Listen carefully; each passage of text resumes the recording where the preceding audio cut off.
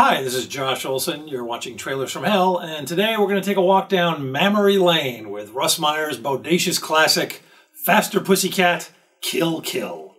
If you want one. Ladies and gentlemen, go, go for a wild, wild ride with the Watusi Cat. Ah, the dulcet tones of John Furlong, Russ Meyer's go to guy for voiceovers.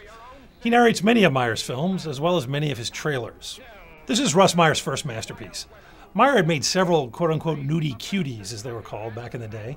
His first film was a movie called The Immoral Mr. Teas, which made a ton of money. And it's a bizarre film to look at today because it's very soft core. It stars a friend of his from the Army. And uh, literally the entire plot of the movie is uh, a guy wearing uh, a straw hat, walking around, suddenly has the ability to see through women's clothes.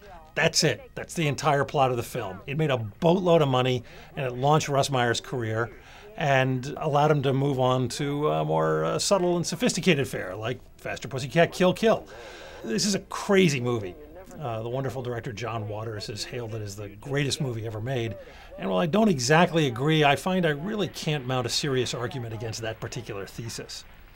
It tells the story of three strippers who go out into the desert to look for thrills on the weekend. They race cars, beat guys to death, fall in love, take outdoor showers, and generally do all the things that strippers like to do when they go out into the desert to look for thrills on a weekend. Tura Satana is the lead, and she's an incredible screen presence. Tough as nails and frighteningly sexy. She was well versed in the martial arts and displays them well in this film, which is one of the earliest films to actually use martial arts. She had to do some of her fight scenes in slow motion so as not to hurt her male co stars, who were actually kind of afraid of what she could do to them, and rightfully so. The movie reeks of sex and filth and perversion and is often referred to as though it were a porn film, but you can actually show it today on primetime network TV and not cut a single frame. you could probably show it on Saturday morning TV and not cut a single frame. Meyer's primary obsession was well known, and this trailer gives a good sense of what it was.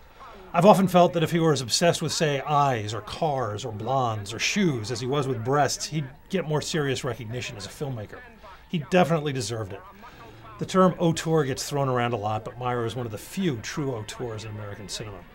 He conceived, wrote, co wrote, shot, directed, edited, and produced all of his own movies, and they were all instantly identifiable as Russ Meyer movies.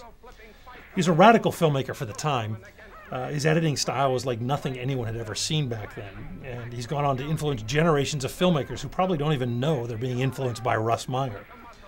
It's also got some spectacular dialogue in it. One of my favorite lines describes a character like a velvet glove cast in iron. Faster, pussycat! Kill! Kill!